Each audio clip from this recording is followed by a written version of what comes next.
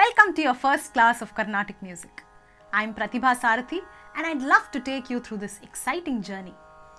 You know, learning music is very similar to learning a new language. We start with the alphabet and then we learn to form words and sentences and expressions, right? The same way, we have a musical alphabet called swaras. And swaras come together to form patterns.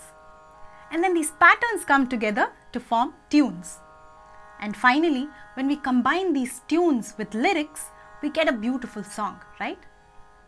So let's start exploring this ocean of music with the basic alphabet swaras. The best way to visualize swaras is in the form of a staircase. So every swara has a particular position or pitch. And as we climb up the staircase, our pitch keeps increasing. Now how do we find out the exact pitch of these swaras? For that we use an instrument called a tambura or shruti box. So this plays a continuous sound which actually tells us the pitch. Now if you don't have either of these, you can even download a mobile app to play the shruti. But you must have some source of shruti because otherwise you will never know the exact position of swaras. So let's switch on our shruti box and select G sharp which is also called 5 and a half according to the Indian system. So we are now ready to sing and the first thing we are going to learn is a warm-up exercise called Sa Pa Sa.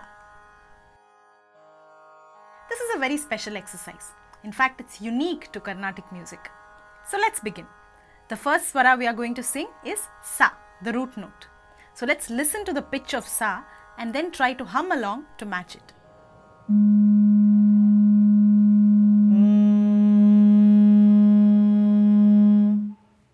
Once again.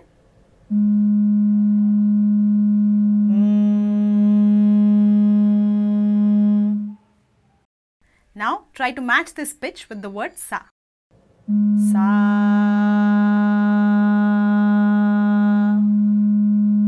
Sa. Were you able to do that? Once you've matched the sound, you should then try to sing it continuously without shaking. Because the first time you try it, it may not be very smooth. Your voice may have some bumps or some disturbances. So you need to keep singing sa at least for 5 minutes until it comes out like a straight line. The next swara is pa.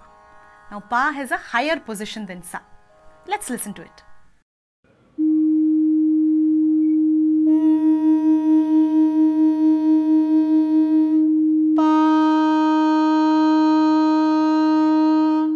Once again.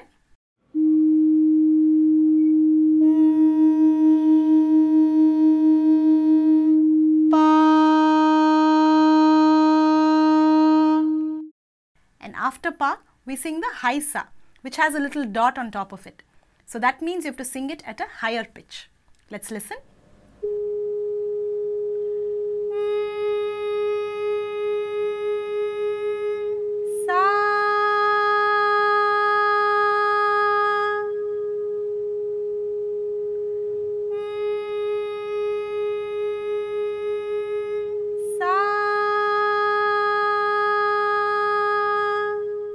Now let's sing all the three swaras.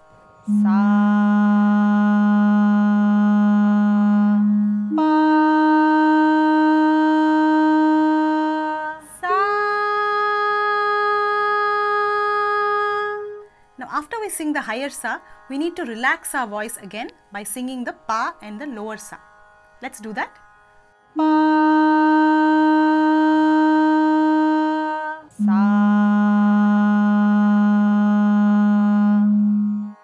Now the reason we start with sa pa sa is because these are the only fixed swaras.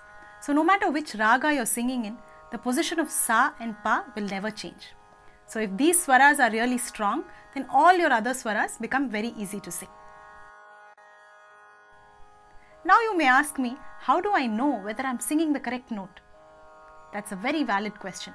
And trust me, if you're a good listener, it's very easy to find out. If you're singing the correct note, your voice will perfectly blend with the sound. So you won't be able to hear two different sounds. For example,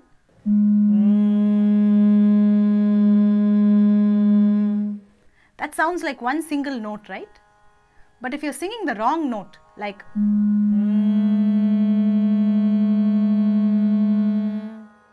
we could clearly hear two different sounds, right? And it doesn't sound very pleasant. That's because my pitch was higher than the correct note. So to make it match, I need to slowly bring it down. Let's do that.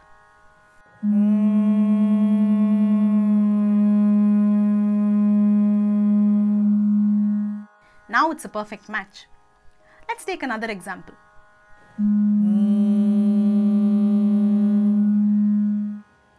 This time my pitch is lower than the correct note. So I need to take it up.